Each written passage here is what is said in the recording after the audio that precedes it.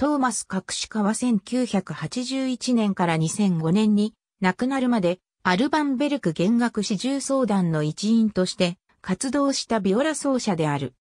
アルバンベルク弦楽四重奏団の第一バイオリン奏者ギュンター・ピヒラーとは古くからの友人であり、1960年から1963年にかけ、彼とウィーン・ゾリステンを結成して活動している。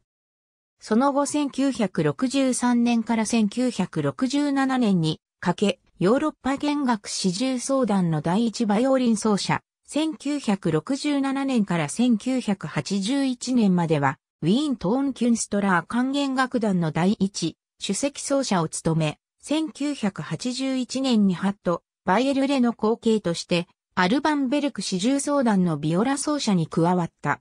1971年からウィーン国立音楽大学の教授も務めていた。ソリストとしても活動を行い、1998年には、小高忠明式東京フィルと、竹光徹のビオラ競争曲、あ、ストリングアラウンドオータムを演奏している。2005年5月、アルバンベルク四重相談の日本ツアーの直前に体調を崩し入院しており、7月4日にウィーンの病院で亡くなった。ありがとうございます。